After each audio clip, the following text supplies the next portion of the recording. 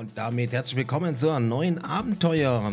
Wir sind heute auf der Nambu-Linie mit dem Rapid-Service nach Tachikaba unterwegs. Das schließt so ein bisschen den DLC ab, weil die zwei Branch-Verbindungen, die es ja zu dem DLC noch gibt, habe ich ja mit dem Branchline-Spaß-Video vor dem Video ja schon gezeigt. Thank you for waiting. The number line Lapis service train for Tachikawa is ready for departure. Ja, und wir haben auch englische Ansagen. Welches ready für die Abfahrt?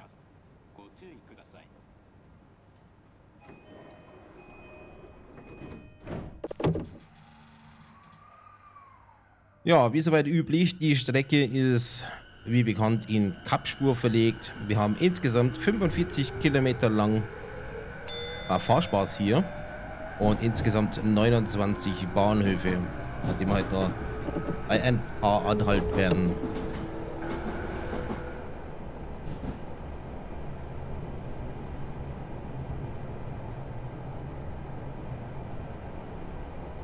Ja, unsere Hauptlinie ist soweit durchgehend zweigleisig ausgebaut. Die zwei Zweigstrecken, die wir ja schon gefahren sind, waren ja einerseits 4,1 Kilometer und 5,4 Kilometer. Sobald wir dann Richtung Endbahnhof kommen,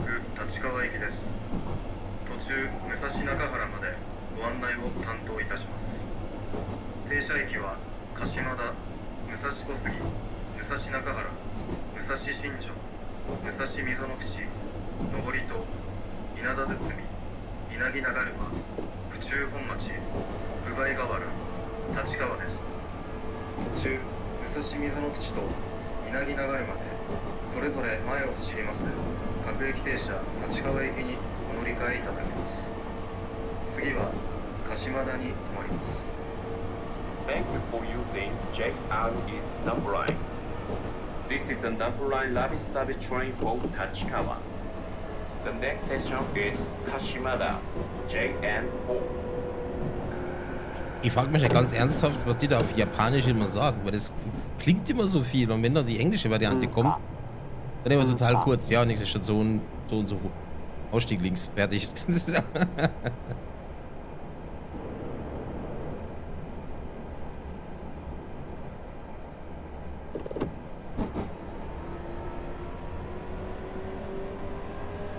So, also auf der Hauptstrecke verkehren die Nahverkehrszüge tagsüber sechsmal stündlich mit Halt an allen Bahnhöfen zwischen Kawasaki und Tachikawa. Und äh, während der morgendlichen Hauptverkehrszeit wird das Angebot auf eine Zugfolge von zwei bis vier Minuten verdichtet. Muss ich mal vorstellen. Und äh, zwischen 10 und 20 Uhr gibt es dann zusätzlich noch äh, jede halbe Stunde einen Eilzug dem was wieder gerade fahren. Und da halten wir nur an 10 Bahnhöfen soweit.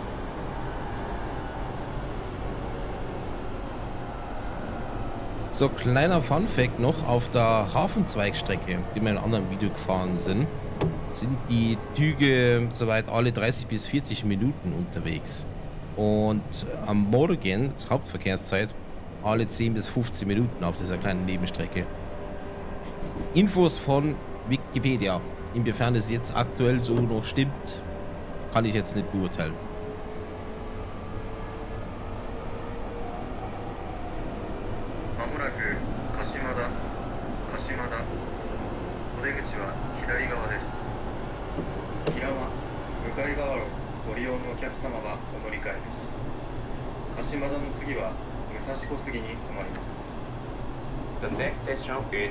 Is Kashimada, JN4. The door on the left side will open. Please change here for the number line local train for Hirama and Mukaigawara. The stop after Kashimada will be Musashikoski. Ich weiß nicht, das Englisch ist irgendwie nicht so gut zu verstehen. Aber es geht. Okay, kommen wir mal ein bisschen zum Geschichtlichen von der Strecke da. Den Antrag für den Bau von der Strecke Der wurde 1919 eingereicht und zwar für die Tamagawa Kiesbahn, um quasi Kies von Inagi nach Kawasaki zu transportieren. Am 29. Jänner 1920 gab es dann die Lizenz und am 29. März 1920 benannte sich das Unternehmen in Nambo Tetsoru um und erhielt auch die Genehmigung, Passagiere zu befördern und die nördliche Endstation nach Tachigawa zu verlegen. Finanzierungsschwierigkeiten und generelle Streckenführung verzögert den Baubeginn. Am 30. September 1923 wurde die Asano größter Aktionär. Der erste Abschnitt von Kawasaki nach Noborito und die Zweistrecke nach Kawasaki-Gashi eröffneten am 9. März 1927. Weitere Abschnitte folgten bis 1930 und Teile der Strecke wurden zweigleisig dann ausgebaut. In den 1930er Jahren führte die Ansiedlung von Nek und Fusitsu zu einem Anstieg des Pendlerverkehrs. Die Nambo Tetsu, Tetsudo erweiterte die Strecke auf zwei Gleise auf auf den Rest der Strecke, um den steigenden Verkehr zu bewältigen. Die Strecke ist dann auch während des Krieges stark beschädigt worden, worauf die Strecke dann recht schnell wieder aufgebaut worden ist, weil die gerade wirtschaftlich für den Güterverkehr sehr wichtig war oder teilweise immer noch ist.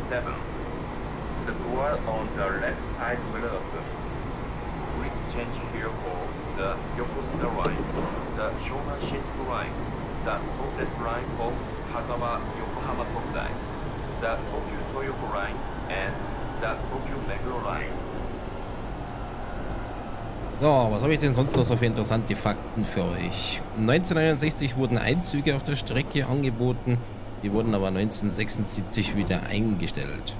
Es gab auch eine Zweigstrecke, die stillgelegt worden ist, und zwar war das die Strecke zwischen Yako zum Güterbahnhof Kawasaki Gashi und die wurde 1972 stillgelegt.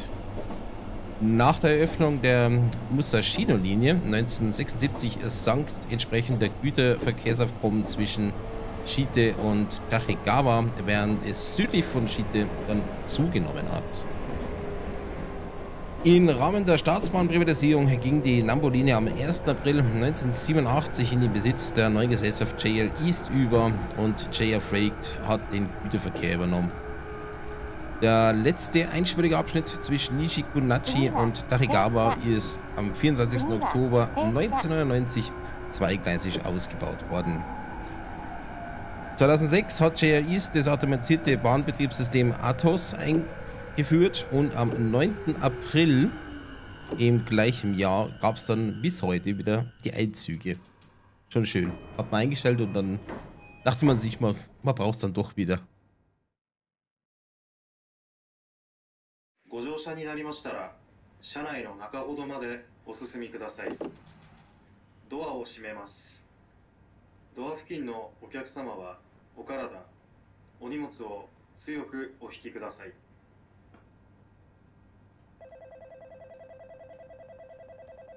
Ja, was werde ich heute auf der Strecke noch so alles erwarten? Also wir fahren natürlich durch Stadtgebiet durch, wir werden diverse Depots sehen, wir werden Eisenbahnkreuzungen sehen auf diversen Leveln zeitgleich. Brückenfahrten natürlich. Wir haben einen Güterzug. Ich glaube sogar, glaub sogar zwei Güterzüge, die wir sehen werden. Gefühlt 15 Fotografen, die uns äh, abknipsen. Müssen wir darauf achten. Sind immer wieder zu sehen. Es sind auch einige Leute auf der Station unterwegs. Also Gott sei Dank mal nicht so näher. Höchstgeschwindigkeit 95, aber nur für kurze Zeiten. Ansonsten sind wir eher so bei 70, 75 unterwegs.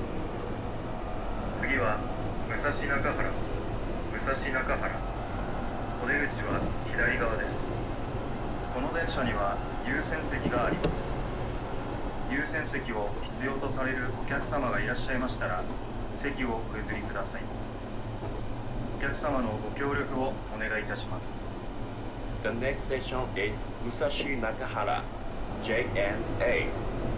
The door on the left side will open. There are priority seats in most cars. Please offer your seat to those who may need it. まもなく武蔵中原武蔵中原お出口は左側です The next station is Musashi Nakahara, JN8. The door on the left side will open. Unser Zug selber ist die Baureihe E233, was wiederum auf der Baureihe 231 basiert. Mittlerweile ist 233 auch schon wieder überholt. Ist jetzt die Basis für 235. In Dienststellung zum allerersten Mal war 2006 bestellt worden, sind 3300 Wagen nach wie vor in Auslieferung in den unterschiedlichen Varianten. Theoretische Höchstgeschwindigkeit 120, Länge über Kupplung 20 Meter, Höhe 3,62 Meter und Breite 2,95 Meter.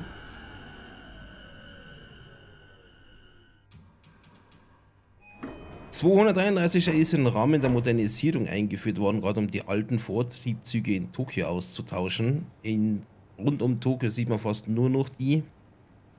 Hersteller von der Baureihe ist J-Track und Kawasaki.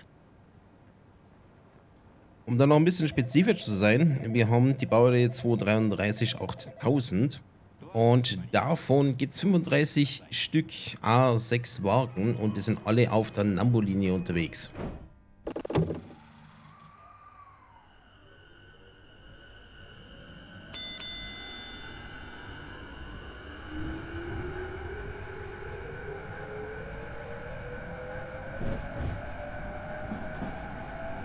Ja, und damit habe ich euch eigentlich soweit alles erzählt, was man über die Strecke so wissen sollte. Und auch über den Triebwagen. Die ist jetzt überschaubar, aber trotzdem eine schöne Strecke. Wir sind immer wieder oben, so wie jetzt. Teilweise dann auch unten. Streckverlauf ist wirklich schön, hat Spaß gemacht zu fahren. Und ich würde sagen, ich ziehe mich jetzt mal zurück. Ihr genießt jetzt die Mitfahrt und ja, schaut vielleicht nicht ganz so genau hin, wie ich anhalte. aber ansonsten genießt es. Ciao. 次は武蔵新城武蔵新城お出口は右側です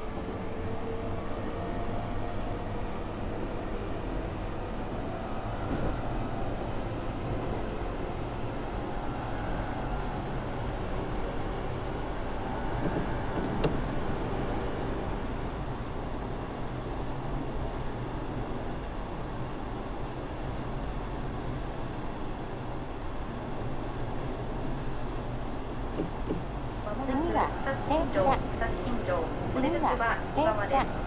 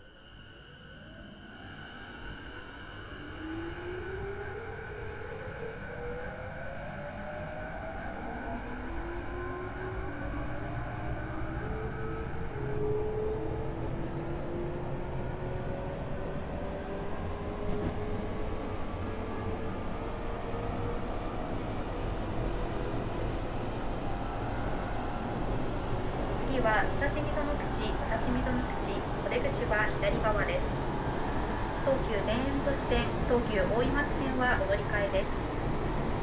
武蔵溝の口の次は上り戸に停まります。この電車が止まらない津田山久慈宿河原中之島矢野口をご利用のお客様は降りましたホームの向かい側3番線停車中の各駅停車にお乗り換えください。電車を降りられる際はお忘れ物をなさいませんようお出回り品をお確かめください。この先もどうぞお気をつけてお過ごしください。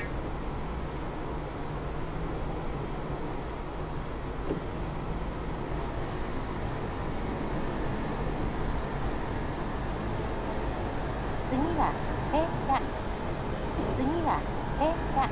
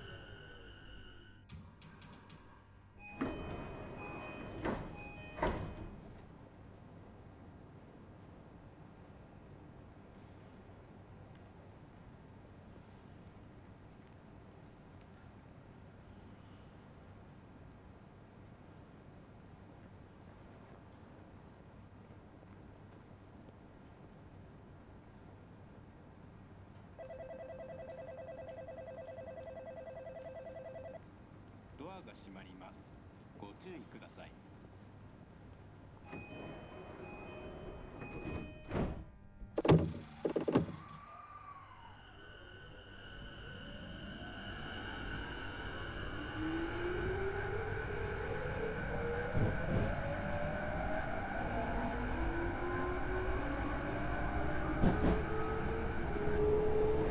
you.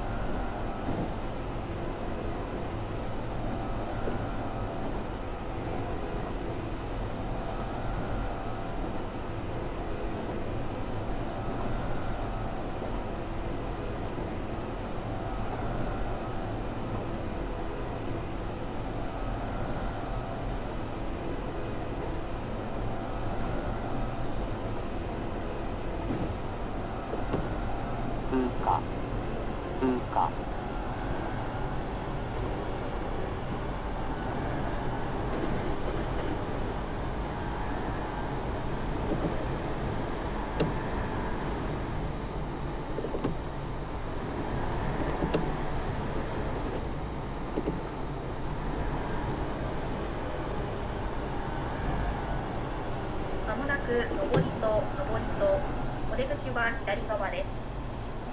長野島をご利用のお客様と小田急線はお乗り換えです。上りとの次は稲田堤に停まります。電車とホームの間が広く空いているところがありますので降りられる際は足元にご注意ください。この先電車が揺れますのでご注意ください。お立ちのお客様はつり革や手すりにおつかまりください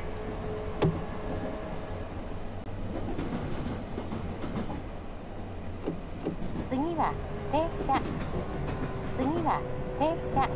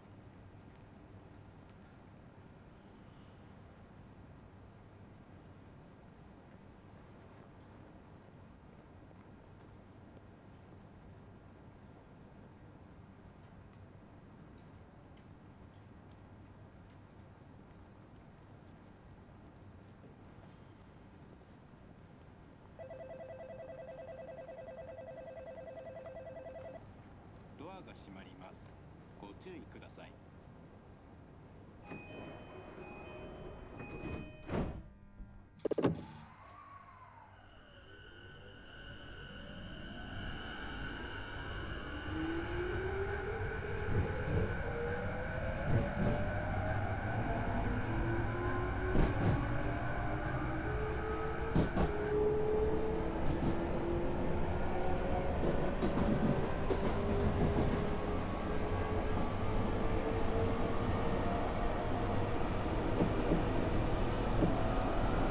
の電車は南武線快速立川行きです。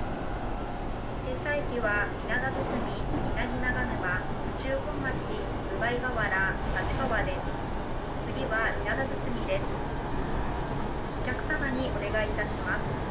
車内では携帯電話をマナーモードに設定の上通話はお控えください。ご協力をお願いいたします。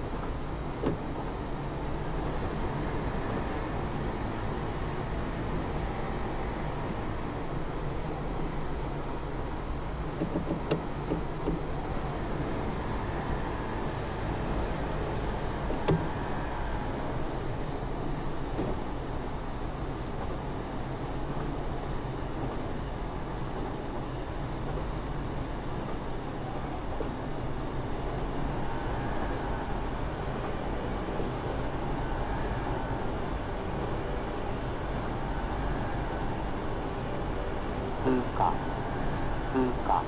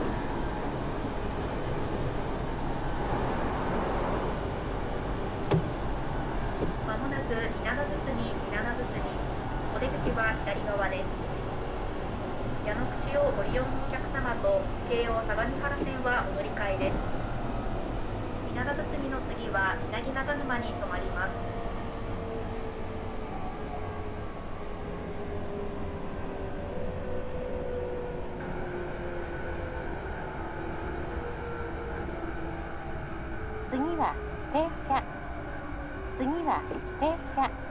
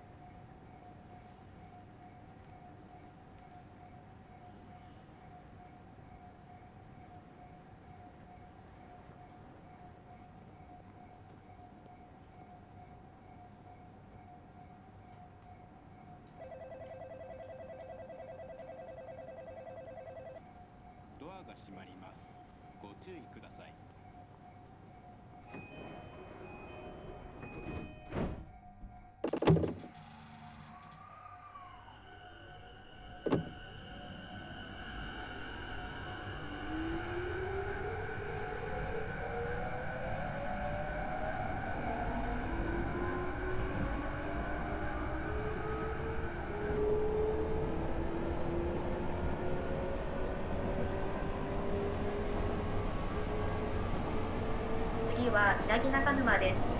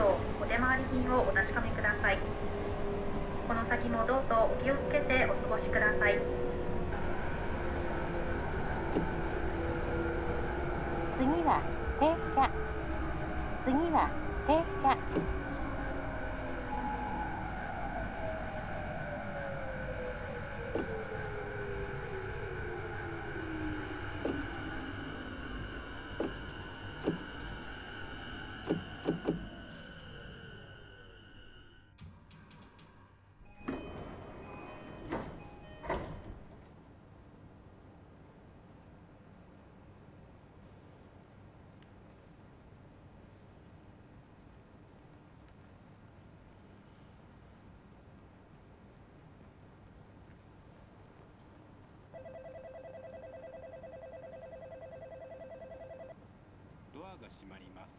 ご注意ください。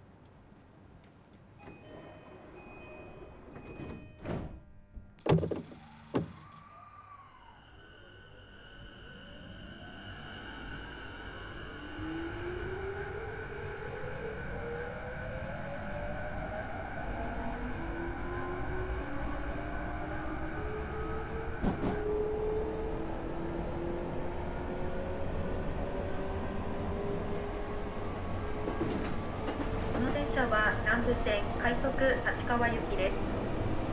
停車駅は府中古町岩井河原立川です。次は府中古町です。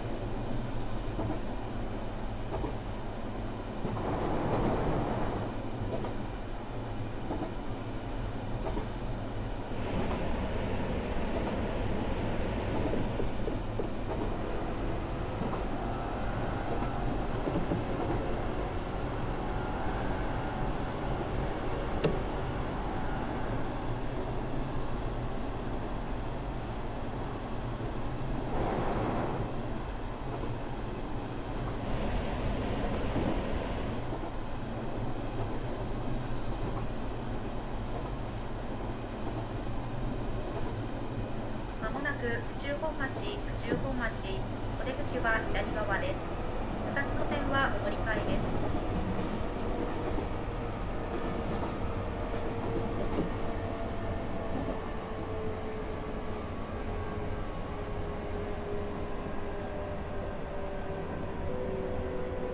次は停車次は停車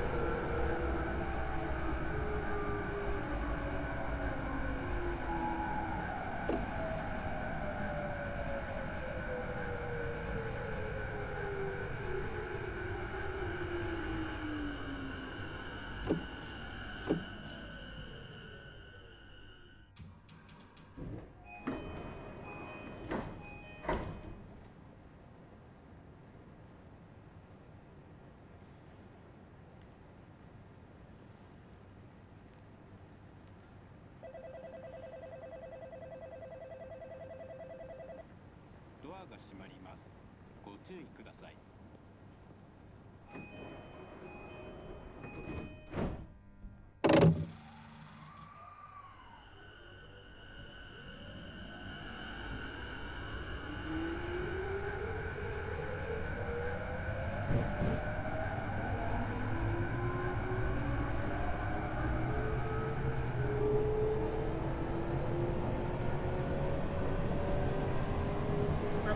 もなく宇倍河原宇倍河原お出口は左側です。石府八尾矢川西国たちをご利用のお客様と京王線はお乗り換えです。宇倍河原の次は終点立川です。電車とホームの間が空いているところがありますので足元にご注意ください。次は停車。次は停車。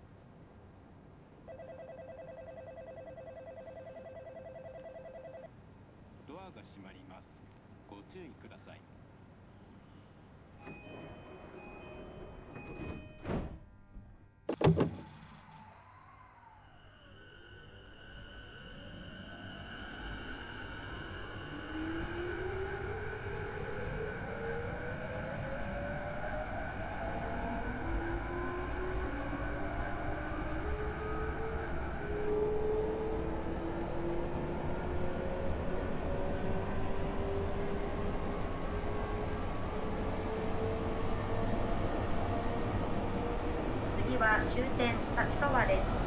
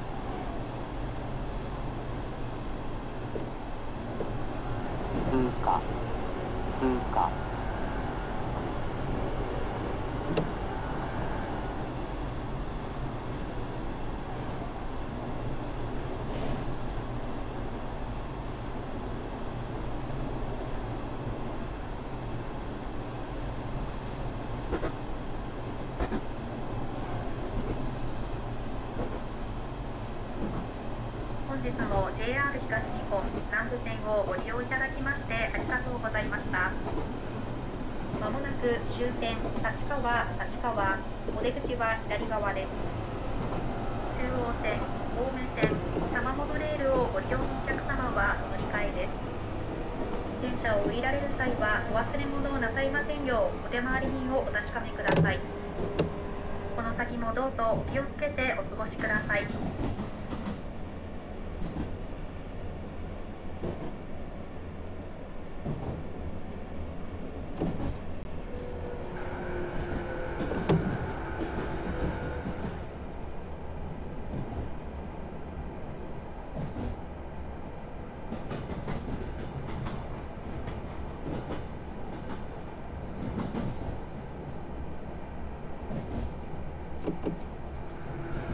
次は停車次は停車「